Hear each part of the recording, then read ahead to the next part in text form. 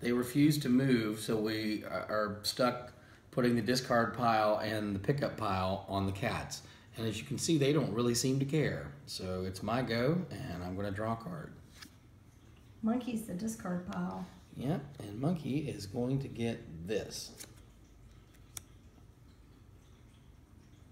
Your go.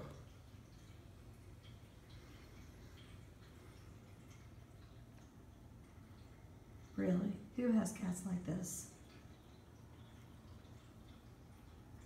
They don't care.